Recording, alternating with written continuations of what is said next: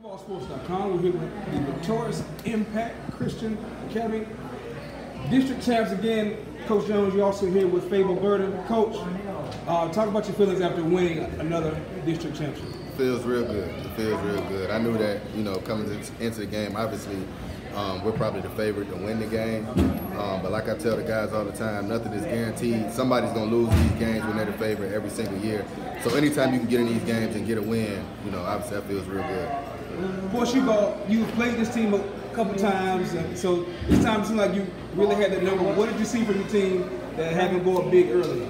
Um, I thought we were really focused. You know, our, our, practices in the last week or so have improved quite a bit. You can see guys starting to um, starting to really improve. And they came out tonight and, and, put it all together. I was telling the coaches, I, I think we made, you know, I looked over at a certain point in the first quarter. I think we had made like four of our first five three pointers. Like they just were really clicking on all cylinders.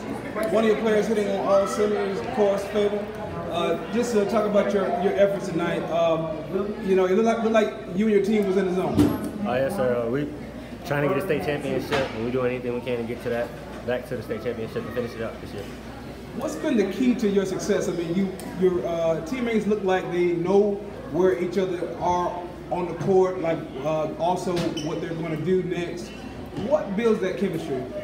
Uh, from the beginning, since we summertime, we hanging out with each other, go to surgery together, go places together, eat together. We do everything together. It's like a brotherhood. So doing that, that, that allows us to come together as a band of brothers, and that's how we got a chemistry.